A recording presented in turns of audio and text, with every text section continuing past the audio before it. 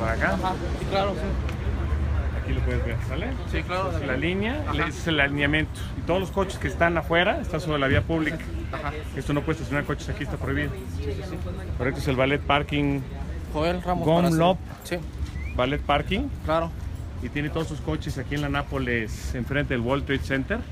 Sobre la banqueta, ¿no? Sí, ¿Dónde pasa una persona? ¿Perdón? Por eso es nada más área este, que se respeta, ¿no? Aquí. Bueno, tienes que respetar el paso de los peatones, particularmente la gente mayor que ci- circula en silla de ruedas. Ok. Aquí ya le pusimos a todos estos coches Claro, para ponerle sus este. estampas. Aquí están todos estos coches estacionados. Ven el espacio que dejan de este lado.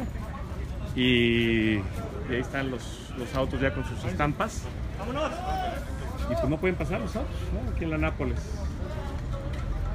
En los ballet parkings que, que se apropian de la vía pública y, y bueno, luego la autoridad no hace nada, ¿no? Entonces ya estamos poniendo esto, porque es más rápido esto que las grúas, ¿no? Las grúas no funcionan. En la Ciudad de México, Monterrey hay unos que son chingones. Aquí no jalan las grúas, entonces ya estamos poniéndoles esta sanción de carácter ciudadano para que dejen los coches, ¿no?